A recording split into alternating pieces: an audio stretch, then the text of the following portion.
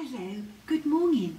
I hope that everybody is well and that you've had a good week. Um, I've had so many inquiries asking how Ray is um, and I'm very pleased to report that this week was um, a turning point for Ray. It was a lot for him to come to terms with and he has now sort of mentally processed it all um, and is well, he's just found his sense of humour, his zest for life, and um, looking forward to being better and being able to start to play golf again. I think the Ryder Cup has had something to do with that. Um, we will know more on October the 6th when he has scans and sees his consultant. The concern with Ray is that he has an underlying, an underlying condition that may prevent his bones from healing where they were broken. But we're not going to cross that bridge unless we have to. Um, we're thinking positive. And the other thing we're thinking of now is about travel. You know, now that um, it's been announced that the US border is opening in November this year, not November next year, which had been previously reported in our papers, you know, our sort of um, world has opened back up. Um, I have actually booked flights to come over to the US in March where I'm going to meet up with some friends um, for um, a week of um, companionship. We're going to have some adventures um, and I'm working on some other trips as well. So um, USA, here I come in 2022. But that is providing the US recognises the AstraZeneca vaccination, which is what I've had. Um, if they don't, well, we'll have to see what we can sort out about um, getting revaccinated. Now, um, this week is a very, very special week for Hands Across the Sea samplers. It's a milestone in our uh, history of hats. Um, we welcomed Lisa Brown as the third reproductionist of our team. Um, and Lisa um, has reproduced her first sampler and Mary Goodwin was released this week. Isn't she a beautiful sampler? She really, really is. This mulberry tree, I've never seen a motif quite like that before. And you know, a mulberry tree is so apt for a sampler stitched in silk. And we had great fun researching the history of mulberry trees um, in the United Kingdom.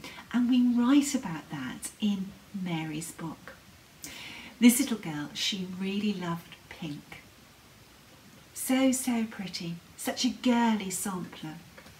Um, now, Lisa um, wrote um, a sort of letter almost to uh, needleworkers that has been published in her booklet. And I want to read it to you because I think it's very beautiful what Lisa has written. Hello Stitchers, my name is Lisa and I have been model stitching for hats since 2017. In late 2016, Nicola told me she had an exquisite pair of samplers stitched by two sisters and asked if I would like to stitch one of them for her. I was intrigued and said yes right away. That sampler was the stunner Anne Tong Uffindell. I had only ever stitched for my own pleasure, so this was a new experience for me. I did not want my stitching to ever feel like work or an obligation, so I was a bit nervous, but knowing I was the first person to stitch and bring one of these little girls back to life was so exciting. Model stitching was an eye-opening glimpse into some of the behind-the-scenes work of releasing a pattern to the needlework community. Fast forward to the fall of 2020, right before our second lockdown for COVID began, and Nicola approached me with a new challenge. She presented me with the opportunity to work a sampler from start to finish, charting and stitching. I had only ever charted one sampler, and that was for fun for a friend.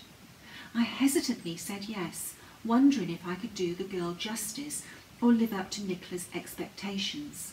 Nicola sent a photo of the sampler and I was captivated and eager to start.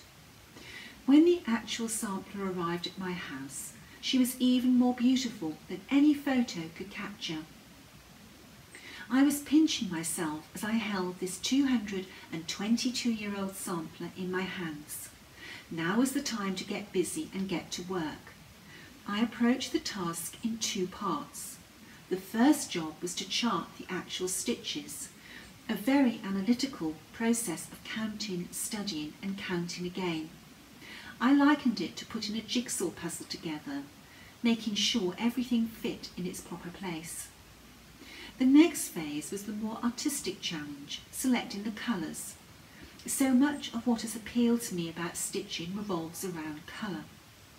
I love to study the play of colours with one another and with the fabric, the nuance of a particular shade or colour. This was so much harder than I expected. I laid out colours, studied them, looked at them in different light. I found myself agonising over my choices and second guessing myself. This was by far much harder than the actual graphing of the stitches. I eventually finalised my selections and got busy. Mary Goodwin was only eight years old when she stitched her sampler in 1798. My impression is that she was a truly girly girl she used every shade of pink imaginable, along with pretty pastel shades throughout her work. She did a beautiful job for such a young age, and in areas where she would make a small error, she seemed to learn very quickly and correct herself as she continued. The biggest struggle she had was trying to maintain a straight line across the rows of her verse. She was not the most successful in that area, but I think she tried hard. Overall, she did a very good job with her stitches for such a young age. This has been an immensely rewarding process and I am filled with gratitude for the opportunity. I am happy to say this has never felt like work and has only deepened my appreciation and love of samplers. I have poured my heart into making Mary a true, faithful reproduction I hope you love her as I do and spend many pleasurable hours with your needle recreating her beautiful sampler. Isn't that, you know, her, Lisa's words are so heartfelt and so beautiful. I just had to include them in this video. Um, Lisa, you more than lived up to our expectations. You know, it's a masterpiece and we take our hats off to you. And we can't wait to showcase your next reproduction sampler. Now, um, Mary stitched her sampler with 20 colours and um, Lisa stitched her model with Vera Soie Soie d'Alger. Um, in the booklet, we provided conversions for Soie 103 and DMC, and we have broken down the um, thread legend so that we show various number of strands on different counts of linen. We're trying to give you the most comprehensive thread legend that we can. Um, the design area of the sampler is 290 by 308 stitches. Um, Lisa stitched her model on fibre on a whim to the shade of light dunes and this linen is so beautiful. I can't wait that when I go to the States next, that I can stock up on fibre on a whim linen. Really impressed with this um, dye lot of this particular swatch of linen. Um, now, if you stitch the sampler on 28 count, um, she would be 20.71 stitches by 22 if you stitched it on 36 count linen, she would be 16.11 by 17.11. On 46 count linen, which was what Lisa stitched her on, um, she would be 12.61 by 13.39. Um, she stitched with cross stitch over two threads and the verse and the date are in cross stitch over one. Um, we're focusing on Lisa's achievement here, but as Lisa said in her words to you, it was a really wonderful achievement for Mary to stitch this sampler at just eight years of age. You know, she probably started this sampler when she was seven, you know, possibly even six. These girls, you know, they didn't sit down and sort of stitch them up in a matter of weeks. You know, this would have been a, a, a process as part of their uh, curriculum in school. Very, very pretty, and we hope that you enjoy her. Um, her booklet and PDF are available on the Hands Across the Sea Samplers website, but her booklet is available from needlework stores throughout the world. Um, and, you know, we hope that um, you love Mary as much as we do and that you welcome another reproductionist uh, to uh, the needlework world. Reproducing samplers is very much a labour of love. You know, it's not um, something you just dash off. You put a lot of long hours into doing this. So, you know, it's just really wonderful to have somebody uh, with Lisa's passion and her eye for colour, um, you know, start reproducing samplers for us all to enjoy. Um, you know, and I hope that you, um, you know, let Lisa know how much you know you think of Mary when you stitch her. Um, I know that Lisa's so excited to see Mary being stitched by her needlework uh, sisters and brothers. Um, yeah, right, okay. Um, my stitching. Oh, I don't know what's wrong with me at the moment, but um, I seem to have made um, some mistakes on my current model. And the model I've just finished, um, Mary Ann Priest, I had um, laced her and I took her to the framers. And when I was in the framers, I looked at her and I noticed that I had forgotten something. And um, I posted a picture of her sampler on social media and I asked you if you could see what was wrong with her sampler. Um, I edited the post to point out that it wasn't an error in the stitching, it was an omission. Um, and only one person that I can that I saw actually spotted what I had missed off the sampler, um, and it was these two uh, blue uh, berries or fruits in these baskets. Um, but what I've really liked is that so many of you spotted anomalies in Mary Ann's sampler. And yes, the date is not um, on a um, a, a parallel or a straight line. She's dropped her date on the second half. Um, she has um, stitched um, a lowercase q, not an uppercase q. The top of her carnation has slid out of line. But all of these things are how Mary Ann stitched her sampler. And I was so pleased that people took the time to study this photograph looking for my omission. And in doing so, they noticed all the little errors that Mary Ann had made. But Mary Ann wasn't bothered. She didn't unpick them and restitch them. And you know, it's a lesson maybe to all of us that when we are stitching our samplers, you know, we don't have to be so hard on ourselves. The little girls weren't hard on themselves. You know, you often see things squished in and, um, fudged. And, you know, most borders that these little girls stitched, um, when they got round them, they realised that they had done their maths wrong and they had to sort of squish the borders together.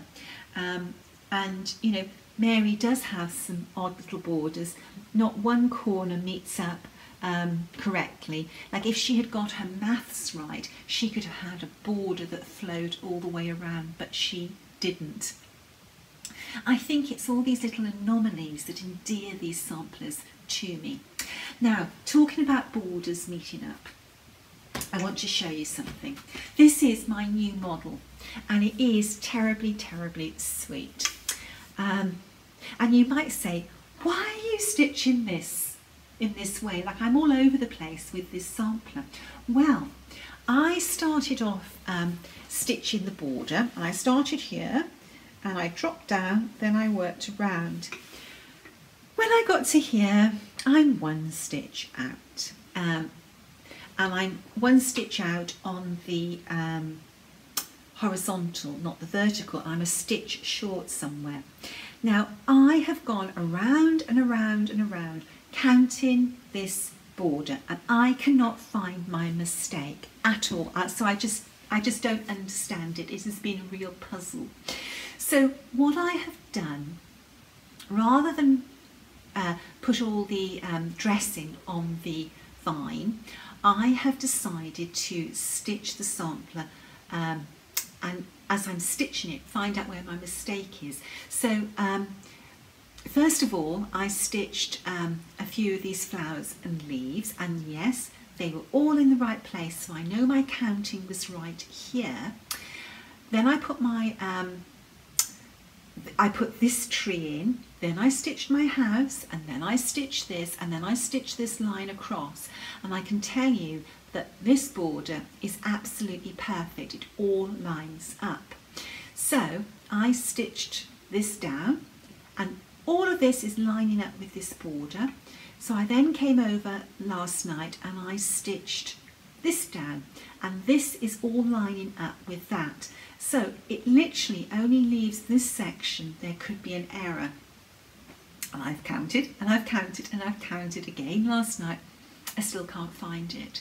So tonight I'm going to stitch across this little girl's name and her age and that runs from there to there and I'll be able to check all of these to make sure they're in the right place. So tonight I should find the error. I don't know where it is. It is, you know, really, really bugged me and puzzled me. Um, obviously I've got to go back in and I've got to fill lots of things in. But this is a very, very sweet sampler. Um, she's one of a pair of sisters and Robert Harris is stitching the um, accompanying sampler. Um, it's lovely to do things as teams. It makes it all the more fun. It really enriches it.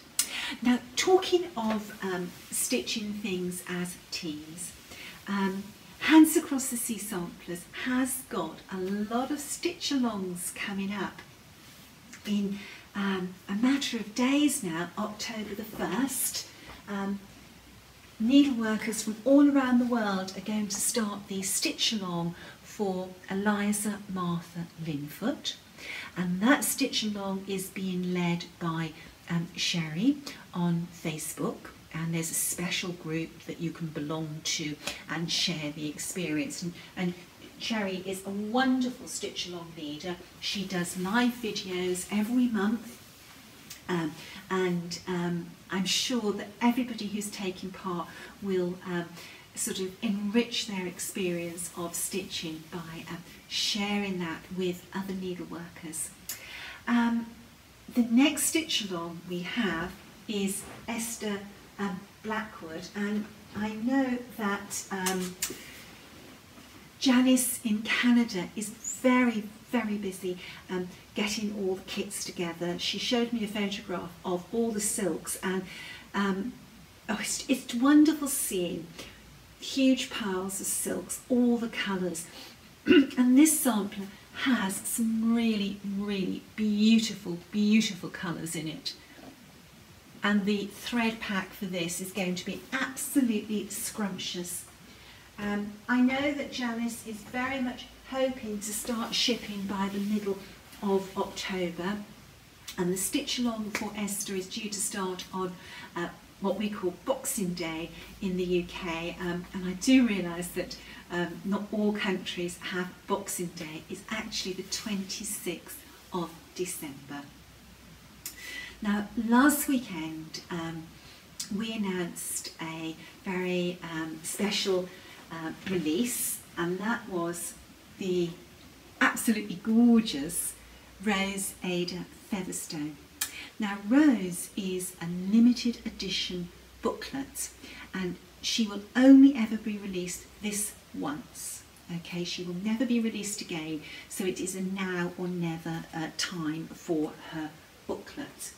Um, people have asked me, why have we done that? Well, Rose is um, exclusive to um, Hobby House Needleworks. And when we make a booklet exclusive to a store, we are just printing that booklet for that store. Um, the print run for Rose is 1500 booklets. 1500 might sound a lot, but it isn't. You think of that spread around the world. That is not a lot at all. Um, that number was set because if you're going to join a stitch along, the store has to be able to provide the materials for you to stitch that sampler. And it is a logistical nightmare kitting up um, large numbers of um, you know kits um, and particularly now uh, in the time of so much disruption around the world with supply chains. Um, it is a logistical nightmare putting it all together. Um, so, you know, we had to decide a number with the store. And of course, if we print 1500, um, the store can't come back to us and say, well, could you print another 10 or could you print another 100? It, you know, it, it, in business, it just doesn't work that way. And in printing, um, you know, with costings and, and, you know, and how it all works. So that's why it's a limited edition. Um, and, um, you know, I think 1500 is a reasonable number for, you know, it's, it's, a, it's a very big number for a store to have to kit up. But, you know, it's the most that we and the store can manage. Now, if you are um, joining, and lots and lots of people have bought the booklet, um, here is the booklet and it's in our spiral bound um, and it's a super little booklet. It comes with some history on Rose and Rose's story is delightful. You know, she was she was obviously a girl that had a lot of um, bravado around about it to go to America and give false information on immigration. Um, our little spiral bounds, because they're small booklets, it doesn't mean to say that the chart has been compromised. The chart is actually printed 10 squares to the inch, so it's a really good size, very, very kind on the eye.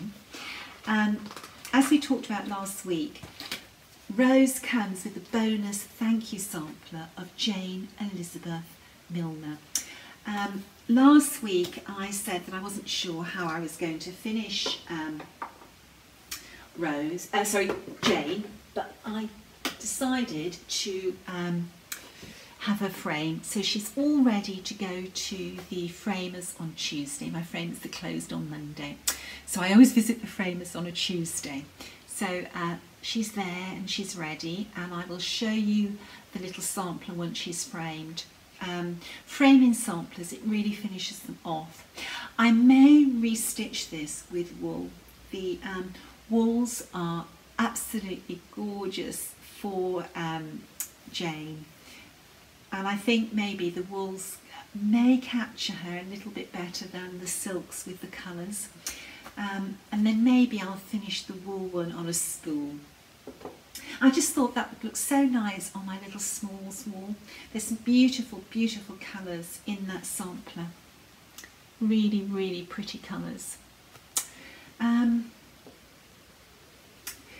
so, um, with Rose, you need to grab this booklet whilst you can. I know with Anne Morrison there have been many, many disappointed people and we did actually print um, about 250 more of Anne than we have of Rose. But then it all comes down to providing the supplies for the sampler.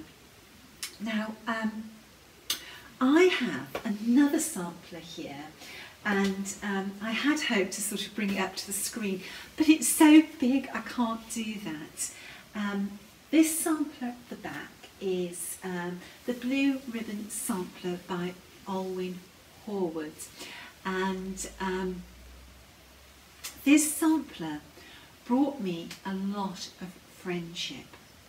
Um, this book for this sampler was um, a limited edition print and um, it was so sought after and it was really, really expensive uh, to buy the booklet. I think at some stages it was sort of running at sort of like 350 $400.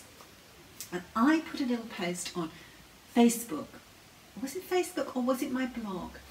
No, it was before Facebook. I put it on my blog uh, that I would really like to stitch this sampler and if anybody had a copy I could buy or borrow. And um, two people contacted me straight away. One of those was Krista Gramer of Just Stitching Along and the other one was Michelle Moulin White from Mill on the Floss Samplers. And that is how Krista and Michelle and myself got together. And that's where our friendship started all those years ago, which I did put the date on the sampler, was 2012. And, you know, the three of us have had this wonderful journey since. First of all, stitch alongs together and then dipping our toes into reproducing and sharing our reproductions with you. But the Blue Ribbon Sampler also brought me another friend. Um, the um, there was a corrections list for the Blue Ribbon Sampler and I put out a request, did anybody have the corrections list? And guess who contacted me? It was Lisa Brown and that's how my friendship started with Lisa. Now I can never think of Lisa without Jaylee. Jaylee was the needleworker that stitched Elizabeth Uffindell and Anne and Elizabeth sister samplers. Lisa and Jaylee, their bond is st as strong as if they were sisters, if, if not stronger. Um, and another sampler brought Jaylee into my life via Lisa. But that's a story that I'm going to tell you in a few months' time. Um, needlework, it brings us all together. I constantly feel the love of my stitching sisters and brothers. Um, needlework has always been there at times of need, um, when I need the strength of a friendship um, and the, you know, the companionship in lonely times. Um, needlework has really enriched my life. Yesterday it enriched my life in as much as um, I joined um, a sampler guild in the States for an afternoon via Zoom and I had the most wonderful, wonderful time. Um, the one thing about COVID although it sort of has restricted our world, it's also expanded our world. We're also used to talking via Zoom now. And this guild had a day uh, via Zoom. And what I realised was that there were needleworkers um, from all over the place, um, Paola from Luxembourg, she is a member of this guild in um, the States. Uh, another one of my friends who lives in a completely different state uh, to where the guild is, she is a member. And it was really, really lovely to spend that afternoon talking away, laughing away, um, and I was so surprised how quickly the afternoon went. Um, so the point I'm trying to get to as I waffle around is um, it doesn't matter where you are, you can join these sampler guilds and participate via Zoom. I strongly suspect that um, many um, get-togethers now, even when we can all physically be together, will also be done via um, Zoom, you know, digitally. Um, so if you are in England and you think, gosh, I'd really love to join a sampler guild in the States, or whether you are in, um, I don't know, think of a state Italy. If you're in Florida and you want to join a sampler guild that's in Texas, you can do so um, because of the power of the internet and things like Zoom. I had a wonderful, wonderful day. Um, really sort of cheered me up and um, it was just so lovely meeting new people, seeing old friends and talking about samplers. Um, talking friends, I had um, a really lovely gift come the week before last from a needleworker and I wanted to feature it in my video last weekend but my video went on for such a long time. Um, I opened a parcel to find this beautiful um, needlework pouch and it's such a lovely size. You know there's room in here for the hats booklets, for my hoop, for my linen, um, my threads lovely, lovely size. And it has this really, really beautiful um, charm on the zipper. And then when you open it up, it has a really lovely lining, really complements the, um, the fabric, which is so beautiful. And then inside, there was a smaller pouch so that you could maybe keep your scissors, packs of needles, um, seam rippers, you know, the smaller things you don't want to get lost amongst your linen and threads. And then inside that there was, this is so beautiful, a um, thread keep with one of our Bristols on. Um, I believe that's Harriet Salt. I need my glasses to look. So pretty. And then there was a card um,